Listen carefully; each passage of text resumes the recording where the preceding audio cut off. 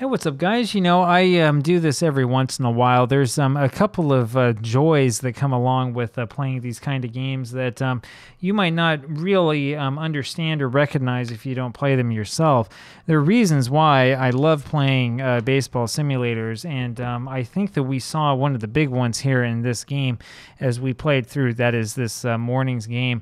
There was a, a uh, situation earlier in this game we go back here. This is why I love uh, Skeetersoft because we can go back and go through it all.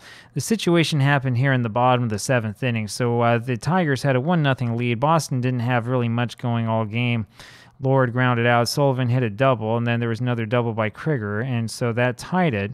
Kravitz then uh, got a single, and that put runners on at uh, second and third. And that brought up Eddie Cicotte, and that was the big question, if you remember right. The question that we had was, well, we can look at these cards here. You have uh, and Kravitz on base. Criger um, is slow. He's the catcher. Um, the problem with this slow rating is that um, it means that he can get thrown out at home quite a bit. Kravitz was the uh, next guy coming up. There's uh, Gavi. I should be showing you this, shouldn't I? Here we go. This is uh, the screen that I'm talking about here. We'll go back here for a second. So um, in this game that we just played, you can see right here um, next to my face. Let's uh, move this over just a little bit. You can see sort of that uh, play-by-play result. There we go. And we're looking here at the seventh inning. So Sullivan hit the double. Criger doubled him home. That was a tie ball game. Kravitz then hit a single. Um, and uh, the runner went to third. I'm sorry, there was runners on first and third. Here's Criger's card. He has that S, right? So he's slow. Kravitz, the man on first base, did not have an S, but um, didn't have any sort of 11s we um, try not to hit and run if they don't have an 11 because if the batter strikes out or walks, chances are good that the guy's going to be at first is going to be caught stealing. It's a little bit different with runners on first and third, but it's not that much different. The uh, problem that we have when we go over here to the boards and we look at the uh, bunt play with runners on second or third, um, I'm just going to do a quick look through this and see if there's anything about S's. You know what? There's nothing actually about having an S on a third base. So it might actually be beneficial in that case, even if the guy is slow to bunt anyway. I was always under the um, impression that a slow runner is somebody who you might not want to bunt with. But as I'm looking through this, I'm realizing that actually that's not the case at all. So next time we know that we can actually safely bunt in that situation.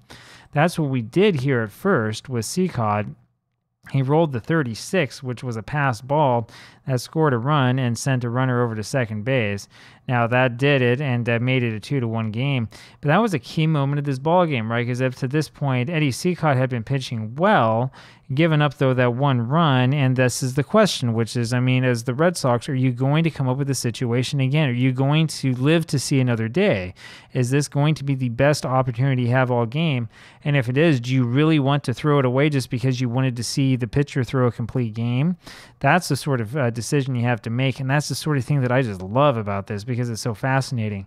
You don't see it all the time in today's game, right? But you see a little bit of it in today's game. I will say that. You do see decisions made about relief pitchers. Do you bring this guy in? Do you leave that guy out? What exactly do you do? And it's still interesting, but it's not quite the same as it is in this kind of situation where you have a bullpen you don't really trust right? Now, I don't know. Maybe the Red Sox do have a pretty good bullpen. I don't even know it, right?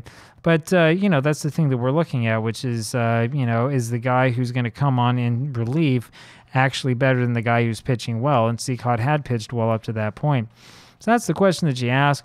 I don't know. You can say one way or another, but if you ask me at the end of the day why it is that I love these games, it's situations like that that make me makes me really love it.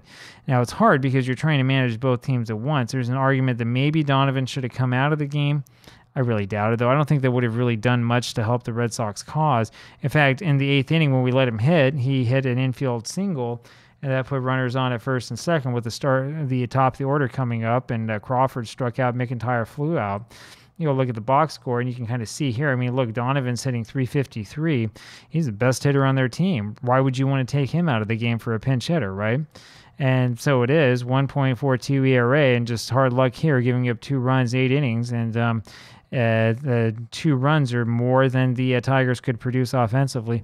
Anyway, so there you go. That's really the reason why I love it. I love these kind of situations that come up where you have to use actual strategy. You have to kind of think about what it is that you're doing, right? As I said, you know, with the modern game, I hate to say this about modern baseball, but a lot of it has become kind of like textbook by the book and stuff like that. Cool thing about the game in older times is that you look at this and you think, I might never have this opportunity again. I better do something right now to uh, make this work. Uh, we're going to have to fight for a run instead of uh, sitting back and just waiting and seeing what it gives us. So, anyway, that's just my humble opinion. I'll talk with you tomorrow. Bye.